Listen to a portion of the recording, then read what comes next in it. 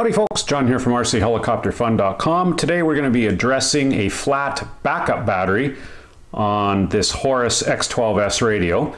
If you're thinking of getting an FrSky Horus or you've already got one, I'm going to show you how to open it up, how to access the backup battery inside, how to identify it, how to test it, and of course how to replace it. Now how do you know if your backup battery is dead? Well, it's pretty simple. When you go to turn on your radio, let's just zoom in here. You turn me on. Normal mode, throttle release, low rates, rudder low, acro mode. If you look in the top right hand corner of your display where the date and time are, uh, they will be reset to January 1st and roughly 0 hours. Situation normal, all up. Couldn't have said it better myself. The backup battery has nothing to do with your actual model programming. So all your models and programming and everything are stored in the micro SD card. Uh, the only thing the backup battery does to keeps the date and time when you power the radio off. Let's uh, open this bad boy up. Whenever I open up my radio, I like having a soft surface to do it on. This is an Align assembly towel, so you know any any towel would work. Just something so it doesn't get scratched. That's up to you, of course. Um, if you've got an external module in here, you're going to want to take that out. And to get these open, you're going to need a Phillips screwdriver. And another little tip I do when I open my Horus up is the external antenna port on here. I like taking that out right now. Uses an 8 millimeter nut on it. So we'll just get that out. And I'll show you why we do that off the bat.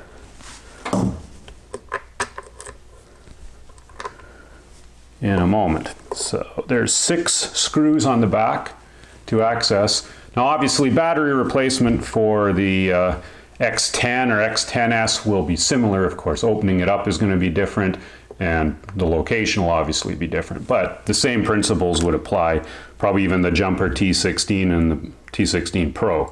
So there's six screws, two in the top, two kind of in the middle here, oops, and two at the bottom right here. So just fast forward through these guys. Now with those all loose, hopefully they'll just pop out the back. Make sure they're all accounted for.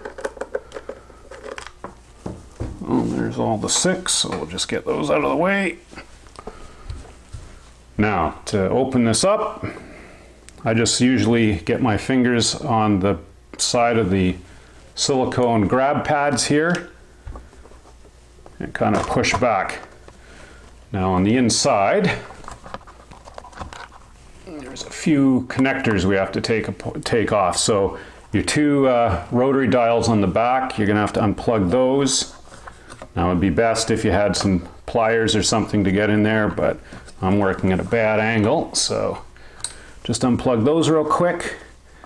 And then your vibration motor is down here, this plug here unplug him. Now the GPS antenna lead is here. Oh, and that antenna, that one that we had unscrewed, there it is right there. And the reason I do that is because when we open this up, we're gonna have to flip this around. Again, there's the GPS antenna lead. And I just like push it, pull, putting the radio down like this, and then flipping the backside around like that. So we don't have any strain on the antenna. And as you can see, there's the external antenna lead. Uh, and by taking it out, we didn't have to unplug the UFL connector right here. And UFL connectors have a finite cycle life. So if at all possible, you don't want to be pulling them on and off too many times. So that way we don't even have to uh, pull that out. I'm just going to zoom in here. So we want to take out our main power pack. So just unplug it from the power board. And we're going to want to take these two connectors off the power board. So here's the uh, charge jack plug. It's from your charge jack. And here's the power output going to the main logic board. We want to take that off and now we have to take this whole assembly out. So there's a screw down here, again a Phillips. There's one here, one over here. Hopefully that's in frame. And then one down here.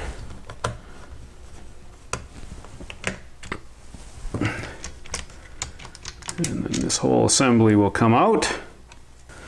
Now, in like sin, ARM processor chip, nice big quad flat pack. Never been back here. It's really nice looking board. At any rate, there's our little backup battery. And to get them out, there's just this little sprung tab that you push back and it should pop out. And it is, if this thing focuses, a CR1220. So 3 volt lithium 1220. Now to test it, if you've got a digital multimeter, we'll go into our DC volts and uh, just test the old battery here. 0.24. So yeah, it's dead. Actually, comments below if anyone's got one of these things. Has your backup battery failed so quickly? This mine is three years old. I'm kind of surprised it uh, has crapped out so fast. Uh, what's the name brand on this thing? Probably some no-name Chinesium garbage. So put a good one in. So we've got some Panasonic ones here. We'll just test the new ones. Make sure it is good. There, that's more like it, 3.3 volts. So we'll just uh, put him in. It goes in this way and then that little sprung tab keeps it in at the back. It's that simple. Now we've just got to put it back together in the reverse sequence and we will make we'll reset the time and make sure it's uh, being stored when we turn the unit off. Quick little tip I thought I'd share when you do take this tray out, yeah, take get something to pull those screws out before you flip it over. I had one lodged underneath here and it took a little bit of time to get out.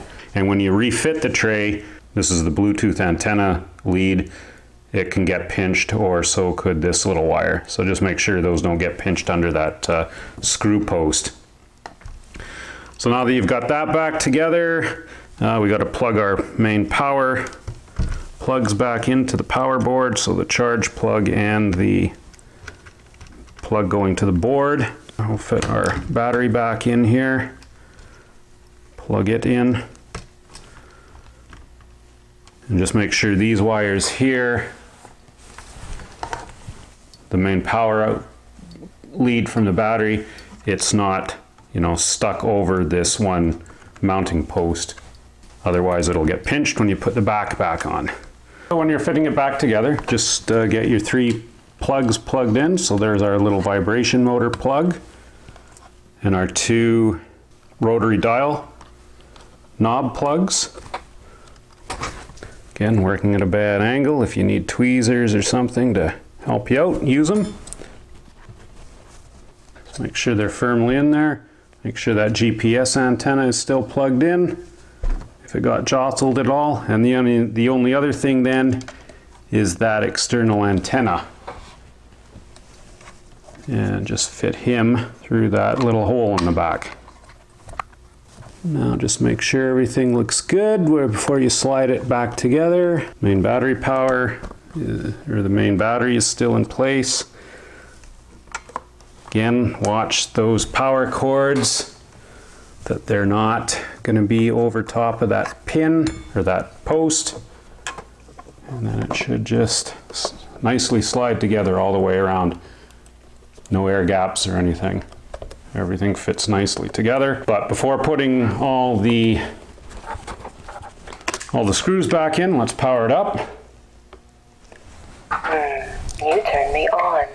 Throttle warning. Normal mode. Throttle hold. Low rates. Rudder low. Acro mode. Make sure it still works. So you'll notice the date is still January 1st, but let's uh, let's reset this. So what do we got? I think we're sitting at 2020. It's today, February 20, what is it? 27th, I believe. Leap year this year, right? And let's just go down to time. 8 o'clock. So, February 27th, 8 o'clock. We'll power it down. Oh, nasty. And we're going to have to leave it for a couple of minutes. We'll come back and see if the uh, date and time are still correct. Well, it's been about 15 minutes or so. Went to grab a cup of coffee. Let's see how we're doing here with date and time.